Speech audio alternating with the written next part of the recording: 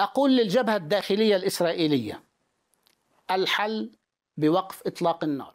في خلفية جديدة لكلمته المصورة الثالثة والتي استمرت لنحو نصف ساعة يظهر نعيم قاسم الذي لا يزال يحتفظ بمنصبه كنائب للأمين العام لحزب الله مع شغور منصب الأمين العام بفعل اغتيال نصر الله الذي ظهر بصورة بجانب قاسم في دلالات جديدة.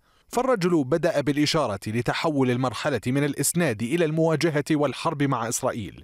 تلك الدلالة التي فسرت بتغيير استراتيجية الحزب في إعلان واضح وصريح. قاسم الذي لم يتطرق لقرار 1701 بل ذهب لمعادلة المقاربة الإيرانية كعنوان عريض يصور تمسك الحزب بقراره بعيدا عن التوافق اللبناني. يقول خبراء ويؤكدون أنه ومع تعزيز الحزب لتحالفاته مع حركة أمل والحفاظ على ولائه لإيران فإنه يواجه تحديا داخليا متمثلا بتهدئة الرأي العام اللبناني الذي بات منقسما حول دور الحزب السياسي والعسكري. اتضح هذا بربط قاسم لوقف النار بوقفها في غزة ودعواته لأنصار الحزب وعناصره بالقتال.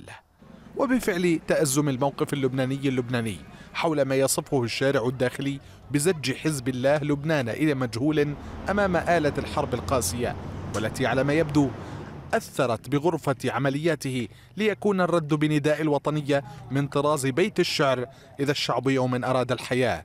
نداء قرئ في غرف الرصد اللبناني تحديدا بمناشدة يطلقها الحزب لوقوف اللبنانيين مع قراره السياسي والعسكري. أو فلتكن هي لغة التحدي والتي قيلت باللبنانية المحلية. حزب الله بائع على قلب لمن نحابب وبعيدا عن لغة الحب والعاطفة إلى أين يتجه لبنان؟ وماذا ينتظر النازحين الذين يرون وعد قاسم بتوفير أماكن بديلة وعدا غائبا عن واقع تسوده لغة الخراب والدمار؟